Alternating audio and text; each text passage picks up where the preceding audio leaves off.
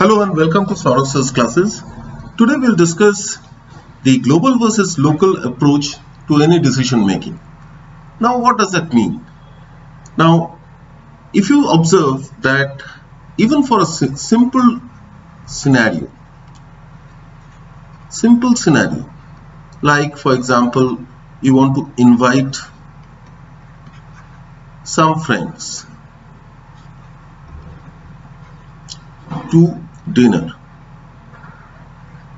and let's say there are 10 of them 4 are veg and 6 are non-veg. And you have to decide on the menu. Now what will you do? The obvious answer is you will keep an assortment of food items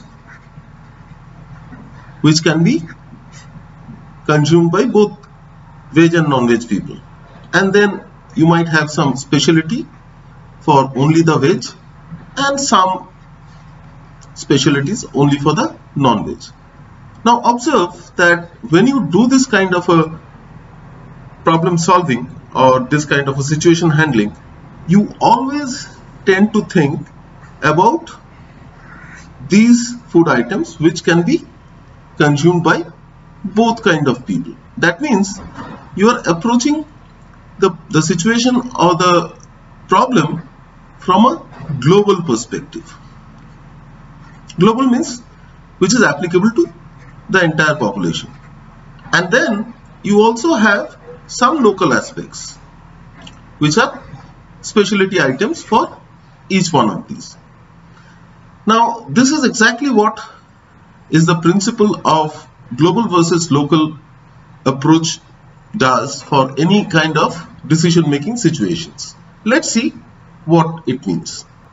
Now suppose you are a company who sells four products A, B, C and D and A and B are low, low value products which means they are less costly and they, they sell in large volumes high volumes. And C and D are products which are high value but low volume. Like jewelry items for example. They are high value products but low volumes. Whereas cosmetics for example. They are less costly but sell in large volumes.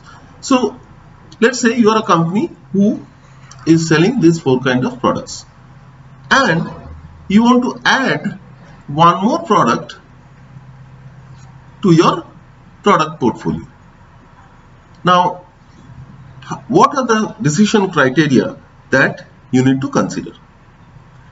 So first and foremost you have to understand that you are looking for overall profit to be maximized and that is nothing but revenue minus expenses.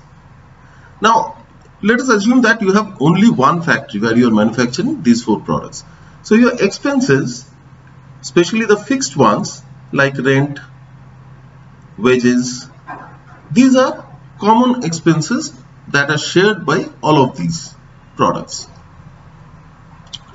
and there are few expenses like raw materials which are specific to each of the products. So that means that going with by the previous example there are some common factors between all the products and there are some special factors for each of the products. And obviously your revenue is price into number of products sold and price is again um, price is again specific to each product and the number is specific to each one of them. So now if I want to add one more product into this category what are the decision points or what are the criteria that I need to consider? The first criteria is around the revenue because that is the key driver of my profit. So, so how will it impact my revenue? Now, now product E can compete with one of my existing products.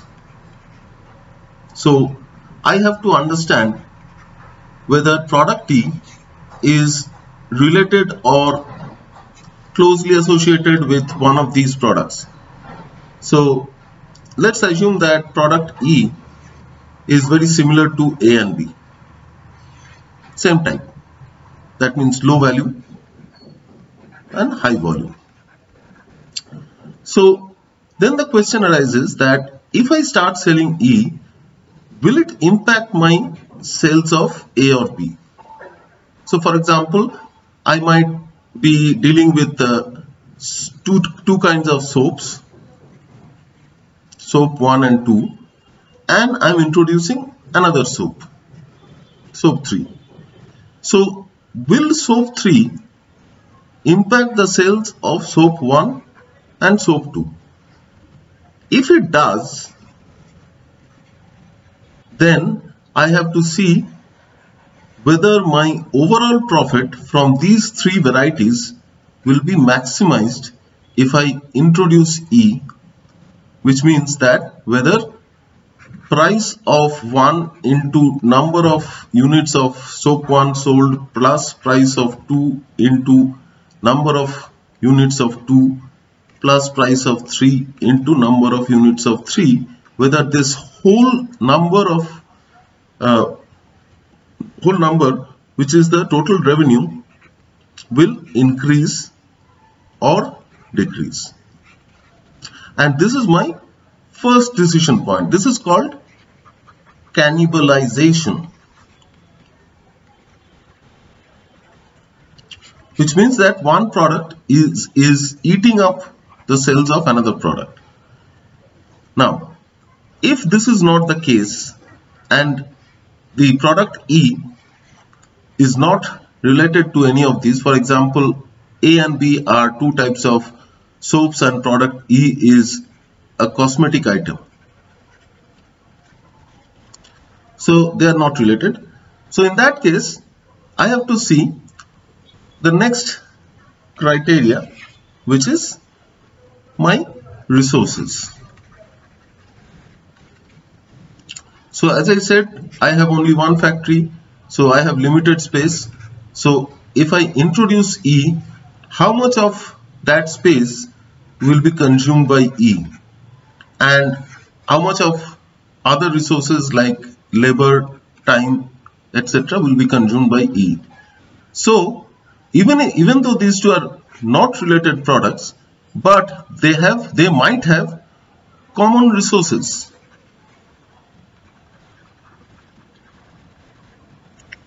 which might be competing for uh, competing between both of them.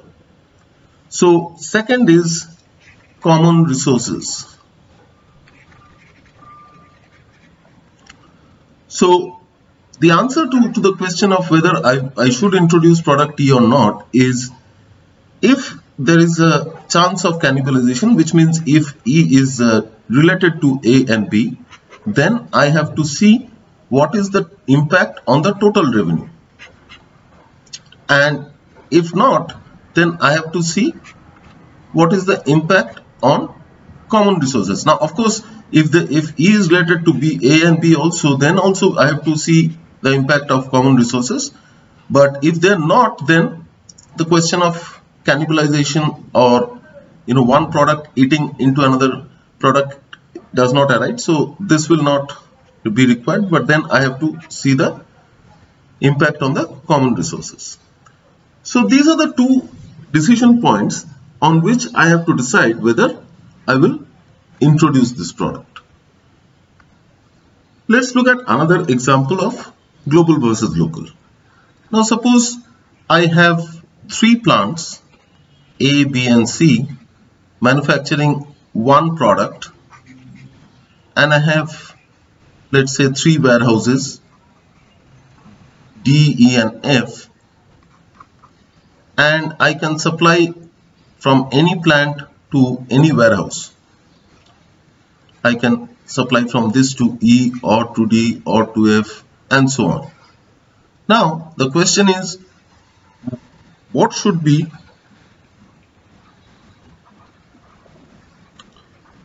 my combination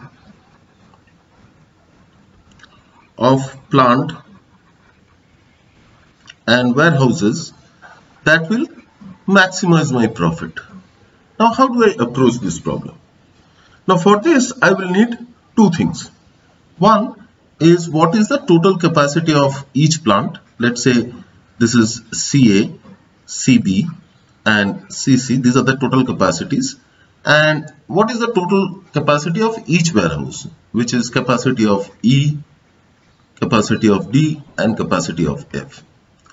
And each of these values cannot cross a total of the total capacities which means if my uh, production capacity of plant A is 100 and I decide to send 40 units here 20 units here then I cannot send more than 40 units here this is the maximum so this is one limiting condition. The other limiting condition is this one. For example, warehouse F. This receives uh, 40 from A, 30 from B and 20 from C and its total capacity is 100 storing capacity then it is fine but it cannot receive more than 30 from C. So these are the bounding or boundary conditions and I also need to know what would be the the cost of transferring one unit of good to each one of these warehouses from each plant. So let's say if this is 10 rupees, this is 15 rupees, this is 20 rupees and so on, 25, 10 and so on, then I have to consider the scenario in which my total cost will be minimum so my profit would be maximized so therefore I'll have to consider the sum of all these uh, units multiplied by the cost. So product supplied from A to E number of units let's say A to E number of units into A to E cost plus A to D number of units plus A to D cost. Sorry multiplied by A to D cost and so on. I have to consider all these values and that would add up to my total cost. And if I have to minimize this cost I have to minimize this sum. So that would be subject to these boundary conditions. So this is how we decide on what to supply from which plant to which warehouse. Similarly from which warehouse to which customer. And this is called the basics of linear programming. Linear programming which is nothing but a mathematical way of determining the right set of choices between certain set of plants, certain set of warehouses or certain set of warehouses and certain set of customers subject to certain boundary conditions. So this is again a question of a global versus local view because I'm looking at the overall cost structure rather than looking at individual ones. Now let us take another example of global versus local. Let's say I have uh, five customers and I manufacture one product and my five customers A, B, C, D and E buys products regularly from me and this is their buying pattern 15, 25, 30. So this is the daily or let's say weekly consumption of the product by each of my customers. Now in a particular week, let's say customer C suddenly calls me up and tells me that he wants to buy 60 units of that product.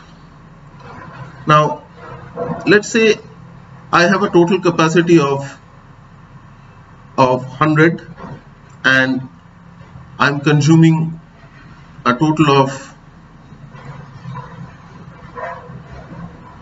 I'm consuming a total of 100 out here and I have an additional demand of 45 units. Now what options do I have? There are two options. One is I can buy the product. Two is I can make the product. Now if I want to make the product I would have to I would have to add capacity here because I don't have capacity. I have to add manpower capacity manpower. I have to get raw materials to make the product myself. But I don't have time because the customer is not willing to wait. So I, I don't have a choice but to buy the product it might happen that I, I decide to buy the product from my nearest competitor also and serve my customer. Now why am I doing this? I'm doing this because I know that this time he's ordered 60 means he's happy with my product and he might order more in the future. So I have a potential of more business So therefore, I am taking a global view here. That means futuristic view.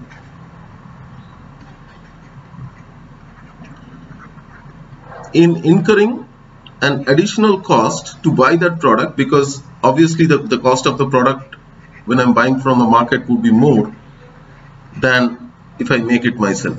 But I'm doing it because I want to secure more business in the future. I'm taking a futuristic view and I'm not looking at my local or immediate or temporary loss a loss in profit I would say. So this is another example where you can take a, a global or a long-term view rather than taking a short-term view and take a decision to supply him the additional demand that he is asking for by getting it from the market. Let's take another case of global versus local decision making. Now let's assume that I am dealing with five customers again A, B, C, D and E and A and B are my top customers. That means let's say they give me 80% of my business and CD and E combined gives me 20%. And A and B places orders on a regular basis, regular orders, or regular customers. And C, C, D and E, they place orders not so regularly or occasionally.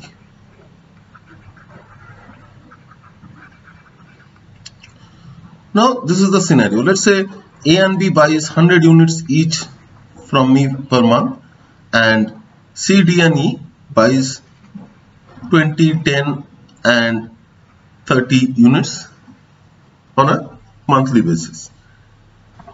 So I know that A and B are customers who are loyal to me and they give me bulk of my business. Now, in a particular month, suddenly customer E wants 100 units and I don't have capacity and I don't have any other supplier who can supply the product. So I'm the only supplier for that product. So I don't have the option of you know buying from the market and fulfilling his demand. So that is not possible here. The only possibility is I cut down a part of this and I supply you know that to him so that in the in the future he might order more from me. Or I have to straight away say no to him now what should I do now in this particular case and as I explained in the previous example that in such cases you have to take uh, decisions which should give you long-term benefits. So in this particular case, what is my long-term view?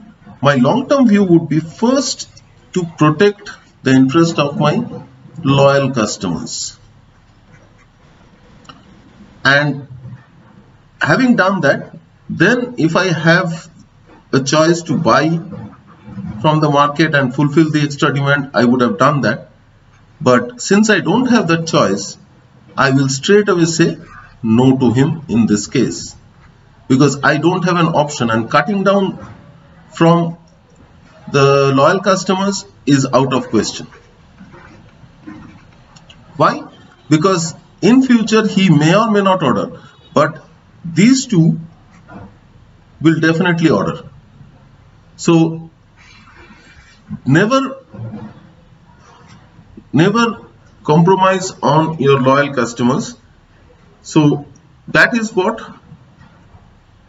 global versus local means. Let's take another example from our own life. Let's say I'm working in a company and I'm getting a salary of 5 lakhs per annum. And I have a 20% hike every year. So if I continue in this way in the next 10 years my salary will keep increasing by 20% each year. And I have cleared the CAT exam and I got an offer from IIM Ahmedabad. And I have to undergo a two-year course where I'll have to spend around 50 lakhs including all expenses. And uh, thereafter I am expected to have a salary of 15 lakhs per annum and the same logic applies 20% increase for the rest of the 8 years now the question is which option to go for if I choose the first option I will have a constant salary or constantly increasing salary for the next 10 years. If I choose the second option, I have to shell out a quite hefty amount initially, but then I will have a higher salary at the end of two years, which will continue to increase again. So in this case, you have to see which one makes more logical sense or sense from a monetary perspective over a period of 10 years. So if I consider the first one, I will get 5 lakhs and then 6 lakhs and then 7.2 lakhs.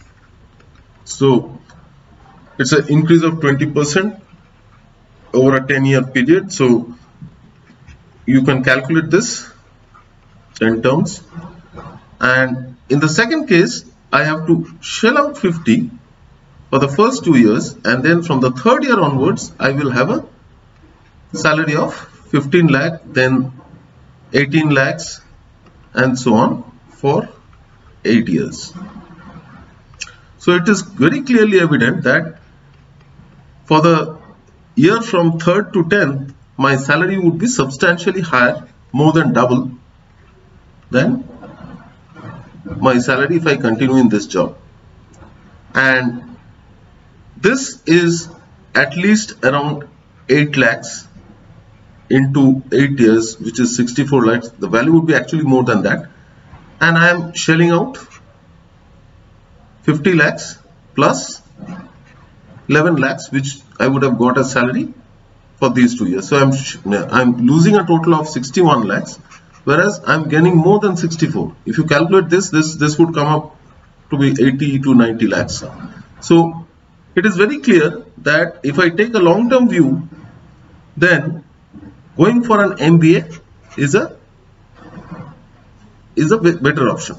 But if I take a short-term view just for two years, then obviously continuing in this job is a better better choice. So this again is a is a case where you have to think about how many year horizon you are looking at and decide on what would be the best choice based on that horizon. So your global becomes global with respect to the number of years that you are looking at. So these are some of the cases of global versus local decision making and there are many more in in real life especially in corporate life where you have to take such decisions.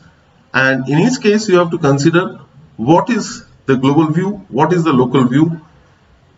Does your local view meet some of the urgent needs that you're looking at? Maybe for example in this case you might require 10 lakhs immediately for a personal emergency. So then you cannot you cannot do this because you need this money and you have no other source of income. So those are rare cases and uh, those should be dealt with in in in their perspective. But for most of of the cases you have to take a global view so that you benefit in the long run. So this is about global and local decision making if you have any questions please do send us. We will be more than happy to guide you